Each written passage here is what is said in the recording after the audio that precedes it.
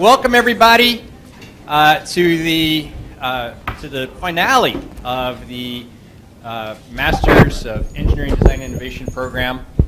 Uh, we're here today to, to hear a set of presentations from what we call the second year students, the graduating uh, students in the program uh, who have uh, over the past uh, six to nine months been, been working on um, a very significant thesis project. And we're giving them all of 10 minutes uh, each to, to sort of tell us about uh, what they've done. Um, and, uh, and so it, it's going to be a great set of presentations. Um, I'm Ed Colgate. I'm the director of the EDI program. Um, I'd like to just, especially for, I know we've got a lot of parents here today, I'd like to kind of give you a little bit of lay of the land. Who are some of the people around you? Um, uh, there's a lot of uh, people that are very, very close to our heart here. Um, uh, those who really run the EDI program, Amy O'Keefe, she really runs the EDI program. Uh, uh, Amy is, is, the, uh, is the associate director. Um, she works with uh, Emily, and I don't know if I see Jeff around here, Jake, but um, we got a great, a great team.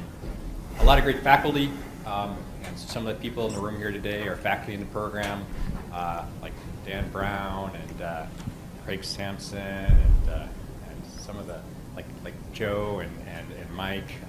And so, you know, a lot of people who really come together and, and provide, um, you know, a lot of great instruction for these students.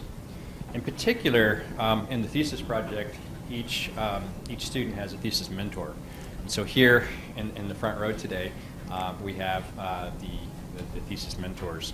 Craig Sampson, um, Amy Schwartz, Travis Lee, Catherine Darnstedt, uh, Martin Rathgaber, and Walter Herbst. And, uh, and these people have worked very, very hard um, since uh, early in the calendar year, um, mentoring each of them a set of, a set of students. So thank you very much. Um, we also have, uh, somewhere spread around the room, most of, maybe all of the first year students, and I want to welcome them. This is probably a, sort of a, a day of mixed emotions. Uh, one, you kind of get excited seeing the sort of things that, that the second years have accomplished. Two, you probably start getting nervous. You're going to see the bar set pretty high here today, and so my message to you first years is that you've got to go over that bar.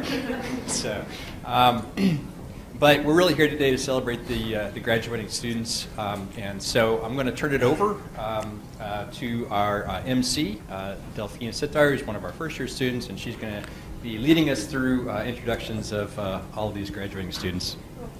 Thanks, Ed.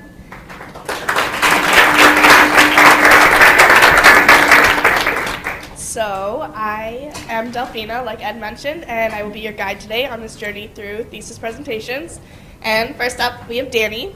He will be showing you Slyce. It's the new and easy way to perfectly slice your bagels.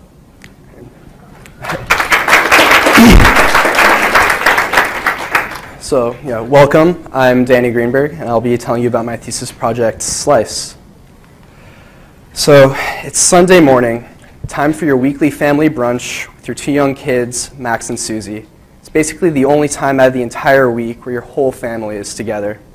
Everyone really looks forward to this weekly tradition, especially this a platter of bagels and smoked salmon with all the fixings. Not just any bagels. These are the thick New York style bagels from Murray's, the kind that you wouldn't dare to slice into and right till right before toasting for the ultimate freshness. But along with all this excitement for your weekly tradition comes a strong sense of dread. Young Max, too, also likes this uh, weekly tradition of bagels and lox, but recently he's been asking if he can be the one to slice the bagels. You know, he says maybe even just his own bagel. He tells you that his friend Pete across the street can slice his own bagels, so why can't he?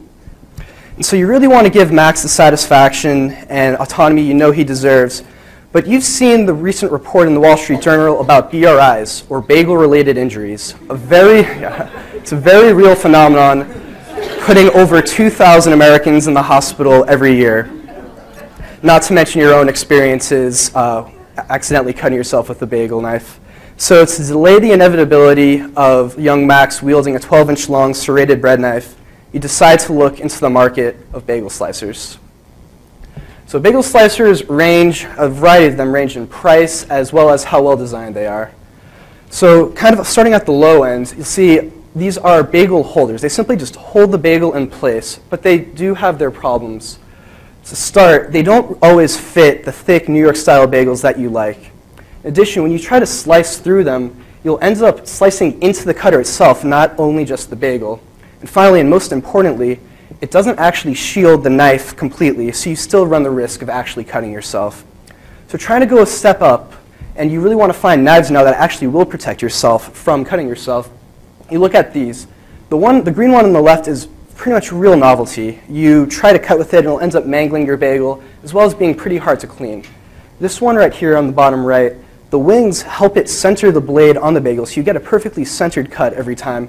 But the wings also do something bad. They knock off all the seeds of your perfect everything bagel, ruining the experience. And finally, at the top, it's very safe. There's no chance of you uh, cutting yourself, or it's very hard to but it's very big and clumsy, and it also teaches you to cut towards yourself, something that you don't want to be doing or even teaching your children how to do. So you say, all right, let me look at the more um, mechanismed ones. So you, everyone's familiar with the bagel guillotine. As great as this one is, it too has its big problems. The first few slices may go well, but the blade dulls extremely quickly, and soon, instead of slicing your bagels, you're crushing them, completely ruining the experience again. And not to mention, while they might be a little bit safer, they're not safe at all to clean, especially when seeds are in there. Reaching your hands up in there and trying to get the seeds off, you can easily cut yourself. So with these out of the way, you want to go for the big guns. Let's go for an electric bagel cutter. And this is the uh, Toastmaster bagel slicer. And for such a large footprint, it's not really something that you really would be proud to have on your table. It doesn't look very nice, and it also uses an oscillating uh, electric blade, something that's pretty scary to clean. So when you want to take this out after every use as it's recommended, wash it, and put it back in. It can be a very scary and daunting experience. So with all these in mind, I really wanted to design Into the White Space looking at something that is extremely well designed and for kind of the higher end market. Something either for the family that has all the greatest kitchen appliances and wants the next, next best thing, or something that could serve as a wedding or housewarming gift. But also, more importantly, would solve all of these problems. And that, so that's why I designed the Slyce. Slyce uses uh, a novel uh, spinning mechanism to turn the bagel as it slices. And I will show you a video of a works like model. So just a proof of concept showing what I think is the safest, most effective, and honestly coolest bagel cutter out there.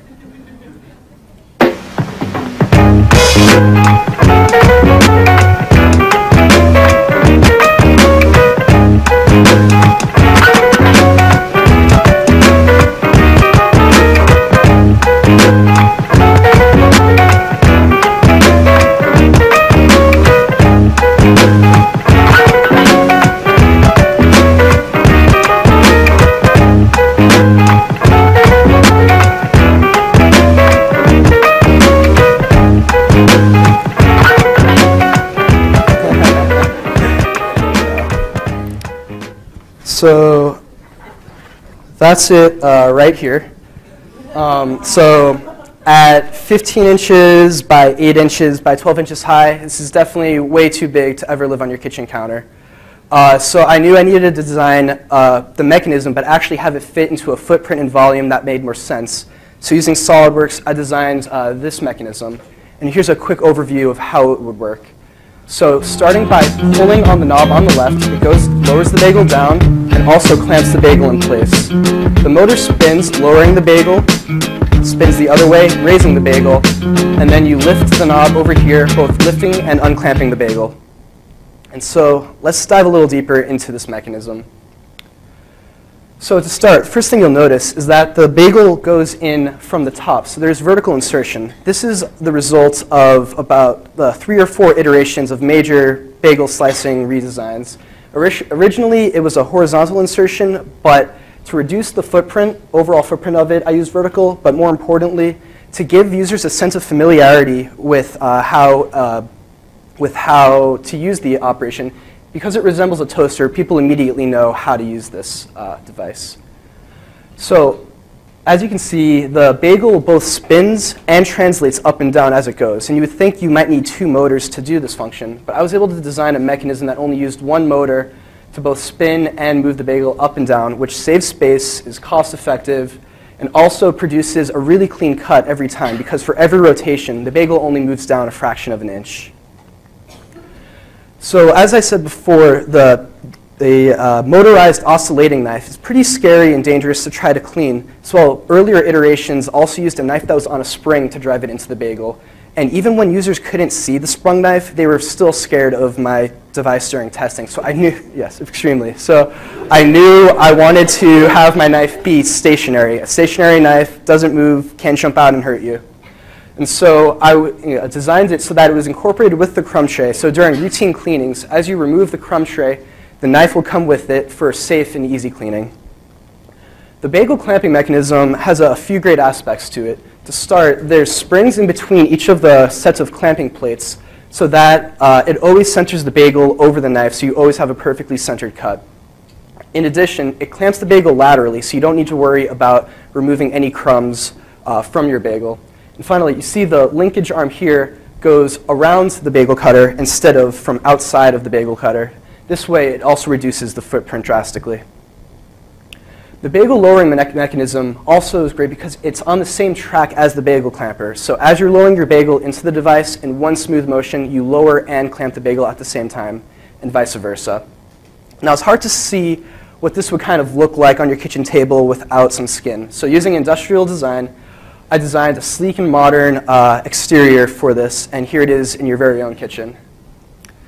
And to give you a sense of scale, uh, this is full true to size right here. So no bigger than a toaster, maybe even uh, a little smaller. Now with a model, uh, so it looks like model, a proof of concept, and a working mechanism all in hands, uh, I think I'm ready to take it to the next level of actually putting this in your home. So some of the next steps in order to make that happen are to first uh, file for a provisional patent. I've done my research and I know that the idea of a spinning bagel is novel, or spinning a bagel in order to slice it is novel, along with a few of the extra features. So once that's filed, um, I would work with a manufacturer and license it to them in order to get the tooling and all the final engineering done. And of course, with this in place, I would be supporting them on any final engineering. And now I know uh, one of the biggest questions I get asked is, does it toast?